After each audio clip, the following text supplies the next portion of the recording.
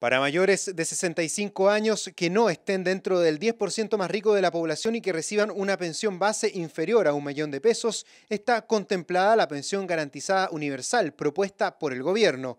La iniciativa llegó al Senado tras haber sido aprobada por la Cámara y espera beneficiar a más de 2 millones de personas que están tanto dentro como fuera del sistema de pensiones y que la reciben ya sea de las AFP como de las rentas vitalicias.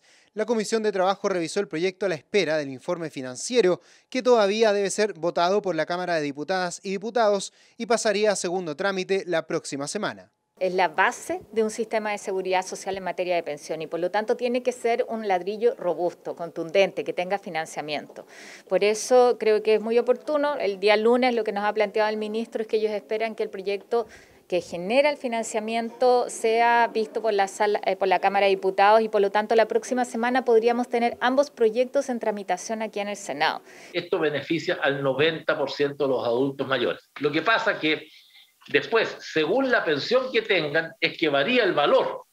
Y ya como lo he explicado, de 630 mil en adelante se produce una gradualidad pero el instrumento de focalización hace que entre el 90% de los adultos mayores. Los 185 mil pesos sustituyen a los beneficios del pilar solidario y son complementarios al ahorro previsional voluntario. Se destinarán para quienes reciban una pensión de hasta 630 mil pesos e irá declinando progresivamente hasta quienes reciben el límite de un millón dado que en la actualidad solo se cubre al 60% de la población, hay un tramo, hasta el 80%, que recibirá íntegramente el beneficio si es que cumple con los requisitos, generando un considerable aumento de sus pensiones.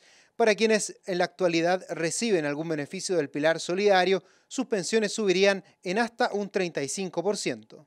Lo que se va a hacer es aumentar el monto que la gente recibía por el pilar solidario hasta el monto de los 185 mil pesos. A diferencia de las nuevas coberturas, porque el pilar solidario llega solamente hasta el 60% de mayor vulnerabilidad.